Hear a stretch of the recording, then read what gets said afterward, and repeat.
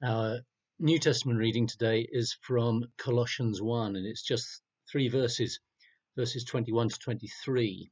We're also thinking a little from Isaiah chapter 12, which we'll come to. These are the verses from Colossians. You who were once estranged and hostile in mind, doing evil deeds, Jesus has now reconciled in his fleshly body through death, so as to present you holy and blameless and irreproachable before him, provided that you continue securely established and steadfast in the faith, without shifting from the hope promised by the gospel that you heard, which has been proclaimed to every creature under heaven. I, Paul, became a servant of this gospel. So we'll come back to that. Think for a moment, though, if you've ever been embarrassingly out of tune in some musical setting. May have been when you're singing, when you're playing an instrument. I once was playing the guitar um, because they needed a guitar, someone who knew some guitar chords. Um, everyone else was much better musicians. And I was using um, a capo, which is a cheat mechanism for guitarists. And you can stick it on the neck of your guitar so you don't have to play difficult chords and you can play easy ones instead. So I was doing that. And Partway through the song, I realized I had it in the wrong place on the neck of the guitar, and I was horribly out of tune with everybody else, and we were being recorded. So we had to cancel everything and scrub it out and start again. It's very embarrassing. It can be excruciating. But it's lovely when someone takes an out of tune instrument and tunes it, and everything comes together with singers and with other instruments and so on. And this is like the change that's going on at the start of our reading from Isaiah 12, we hear in that day, which is the day we heard in the previous chapter, when God provides a Saviour and rescues his people. In that day you will say, I will praise you, O Lord. Although you were angry with me, your anger has turned away and you have comforted me. Wonderful thing. And that leads into a wonderful cartwheeling song of joy. Surely God is my salvation. I will trust and not be afraid. The Lord, the Lord is my strength and my song. He has become my salvation. It's wonderful.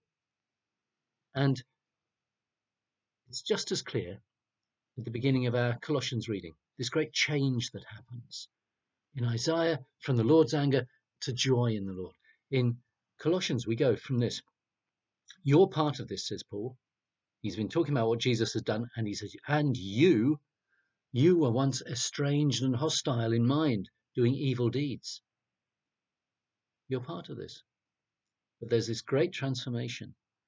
He has now reconciled you in his fleshly body through death, so as to present you holy and blameless and irreproachable before him. What a tremendous movement that is estranged from God, hostile to God in our minds. And yet, Jesus comes and on the cross, in his fleshly body through death, he reconciles us to God.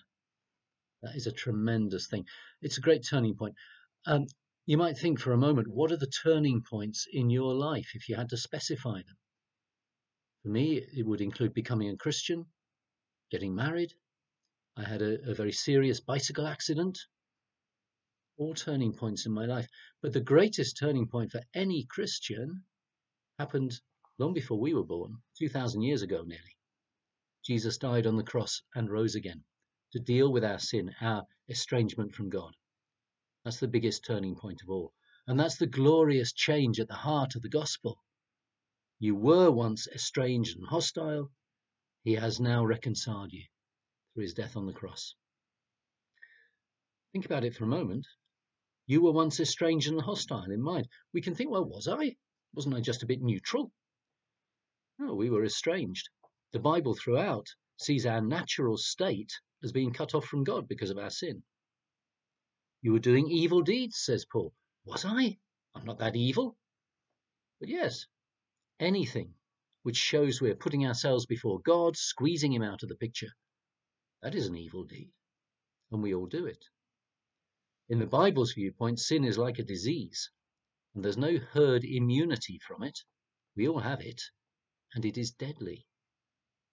But that's all turned round. if we will accept it, by what Jesus has done on the cross and by rising again. His death takes the place of ours. And it is all through God's grace, His love poured out on those who don't deserve it. And that is the turning point, the great retuning,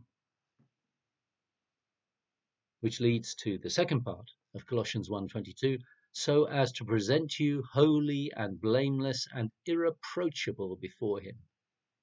That's the point of it. That's what he wants. He gives us new life, new freedom, new direction, new hope. Wonderful stuff. We don't suddenly become perfect, never in this life. But because God looks at us and sees Jesus' perfection, we are accepted, healed of the disease of sin, mended of our brokenness, cleaned up and freed from the past. All by what Jesus has done, all as a gift from God, all by his grace. But then, so what? We might say if we receive all of this through God's free gift and we can just uh, put our feet up, relax, let Him get on with it. But we can't because Paul goes on God wants you to be holy, blameless, irreproachable, provided that, this is verse 23, you continue securely established and steadfast in the faith without shifting from the hope promised by the gospel you heard. Paul's sure they will, but he thinks it's worth underlining. It needs saying. You need to continue established and steadfast. And these are words used about building a house, making sure it has the right foundations and the right maintenance keep it strong. Obviously, Jesus used the same picture. Paul's picked it up from Jesus. Jesus said, Hear my words and act on them, or your house will turn out like a sandcastle when the tide comes in. It'll be knocked flat. So we need to keep sticking at it and living out what God calls us to. It's like keeping in tune, keeping in tune with the music of heaven. We've had the great retuning through the cross, but we need to keep on making sure we don't go out of tune. There are all sorts of ways we could. Continue securely established and steadfast in the faith without shifting from the hope promised by the gospel. We must constantly and deliberately retune our lives to fit what the great conductor God calls us to. How do we do that?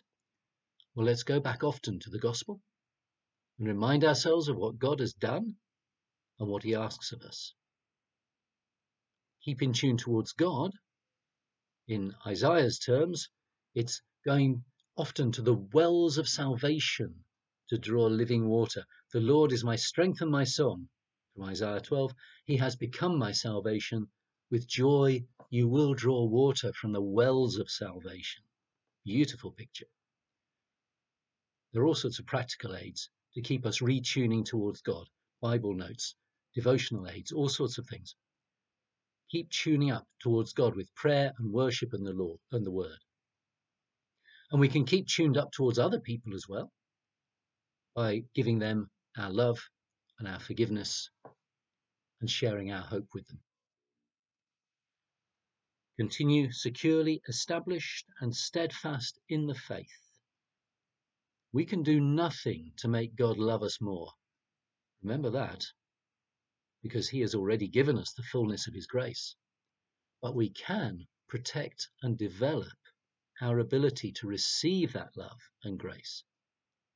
His intention is we become holy, blameless, and irreproachable before him. He gave his Son to that end. The Son gave his life to that end. And our part is to keep in tune with those things and to help one another to do so. So let's keep reminding ourselves of what God intends us to be and of what it cost Jesus to achieve that for us.